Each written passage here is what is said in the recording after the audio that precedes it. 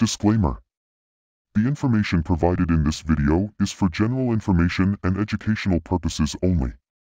Students should test cybersecurity techniques in the secured lab setup. I do not take any responsibility, and I am not liable for any damage or problem caused while implementing the tools and technique.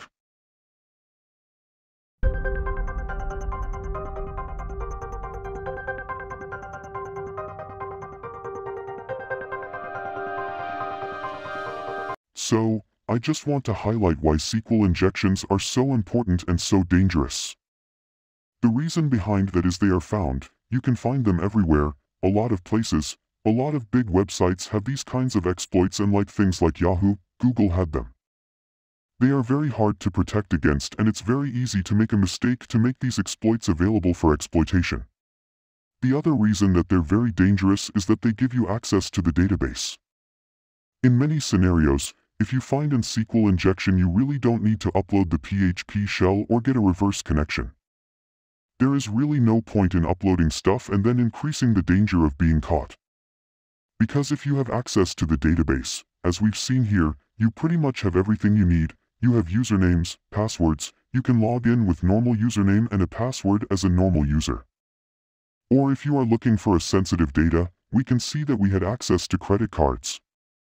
You pretty much can do anything you want so there is really no point in trying to further exploit the system. If you found in SQL injection bingo that's all you need really. In many scenarios, we actually use a PHP shell to gain access to the database and see if we can read it. Like for example, if you manage to upload a PHP shell on the server, on this server, the Metasploitable, but then you couldn't access the database. There isn't much that you can see. You can't see credit cards, you can't see username and passwords, you really can't. Yes, you have control over the server, but you can't read stuff. So sometimes when you upload a PHP shell, the next step is, I need to gain access to the database. Another thing is that they can be used to do many things. If you manage to find an SQL injection in a website that is not your target, so it's not the one that you're targeting, but it's in the same server, then you can use it to read files outside the www root. So similar to file inclusion vulnerabilities, you can use it, you can use the admin the username and password for the admin and see if you can upload stuff. Usually, the admin can upload a lot of things instead of just images, and then you can upload a PHP shell or a backdoor from there. And then from there, navigate to the target website. Or, you can actually in some cases, you can use it to upload a PHP shell, you can use this SQL injection to upload a PHP shell. So basically, SQL injections can be used as file inclusion vulnerabilities.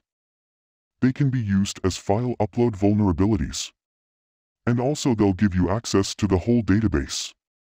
That's why they are very, very dangerous and very useful if you manage to find one. I hope you learned something once again in today's lecture. Don't forget to subscribe, share, like, and enable notifications to keep you updated on the latest ethical hacking topics. Thanks again for watching. Let us move on to the next episode of the SQL Injection documentary. Peace.